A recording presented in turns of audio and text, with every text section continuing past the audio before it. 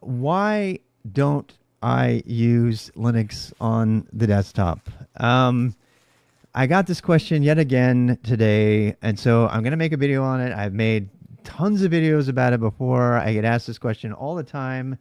So I'm going to answer it one more time, and we're going to make a video, and I'm going to put the video in uh, the Linux section, uh, the Linux stage of the Beginner Boost, so you can understand why. This this answer has very direct relevance to everyone watching who wants a job in technology. Okay.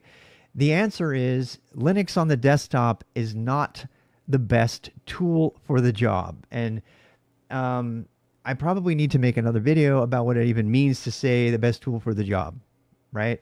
But it goes without saying, right? And I am a live streamer who has my bike right here. This is my indoor bike right here. And that is the short answer. The short answer as to why I don't use Linux on the desktop is because it sucks. it's totally horrible. It's a disaster. And that will be the tagline Linux on the desktop sucks. It really does. It has. And this is from a guy who's used Linux on the desktop for 25 years. I have been, I use Linux on the desktop my entire career at IBM. I use Linux on the desktop my entire career as a teleport for building an internet service provider. I know what I'm talking about. I have used every Linux desktop that exists. And so when I say that it sucks, I'm telling you it sucks. You cannot use Linux for SolidWorks. You cannot use Linux for anything with 3ds Max. You cannot use Linux for major enterprise applications that are demanded and required. You can't. You just can't use it. I spent, and there are videos of this, I spent more than a day total in hours, and I did it all live because I was like, I'm going to try Vulkan. I'm going to try bottles, I'm going to try this and this and this. And I could not get my absolute favorite, most important game to work Zwift. Zwift is the game that I live by. And, you know, people say there's a skill issue. I say, please refer to the 24 or to the 12 hours of video I made trying to get Zwift to work on Linux. And Mr. 10x troll programmer who loves to talk shit like this all the time is a good example of the type of shit I've had to deal with because I'm using the right tool for the job. I know Linux because I the fact that I can't get Linux to work on the desktop has nothing to do with me. And by the way, this is the same problem that Linus Does Tech had when that huge drama happened last year. He tried to just do something extremely simple, and all the Linux community came unglued saying, Oh, you're doing it wrong. You're doing this wrong and this wrong. He's like, I don't know. I just want to install my game and have it work. You know how long it takes me to install and get Zwift to work? You know how long it takes me to install and get Linux to work for my Zwift game? Less than 10 minutes. I just install it. I download the the thing. I put it on and I plug. I plug in. I plug in my my. I plug in my bike. I get on my bike and I start to do it. Yeah, here comes 10x again. 10x is going to have fun with me on this one. I, this this this is what happens every time you say something bad about Linux. If you say anything bad about anything about Linux, you get you get the arch people that come out of the thing and they love to have fun with you. You know what? Most of them don't have jobs doing Linux. I'm saying they don't. And if they have had a job doing Linux, they haven't been doing it for a long time. And if you tell them that you can't run SolidWorks, the most important piece of software, many would argue, for doing any kind of like computer engineering, they're like, oh, they'd pretend it doesn't exist and they look the other way. And like, oh, well, yeah, yeah, if you want to do that, but why would you want to do that?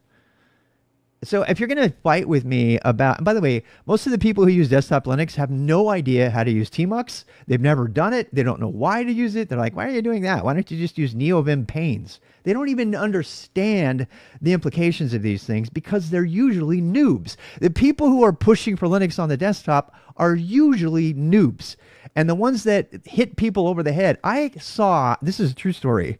I saw a seasoned veteran, Het Tanis, who who has several certifications in Linux, has taught at the university level for several years, and has set up in, Linux systems and servers for corporations and and and NOAA and a bunch of huge organizations. And I sat there and watched people in his Twitch chat say, and one guy, and I quote exactly, one person said, Does anyone else think this guy is sus for not running Linux on his desktop? While he was configuring his multi cluster Linux cluster VM using the tool of his preference on a Windows system while he was streaming, this random noob was giving him crap in the chat because he didn't run Linux on the desktop. And I was like, holy cow. I was like, what the hell is wrong with these people? And if that's you, I'm so sorry. I'm so sorry that that's you. I don't mean to. So when people say, "Where's your Linux?" and they like pull their arms at me, and they, they don't even know that I streamed from Linux for two and a half years.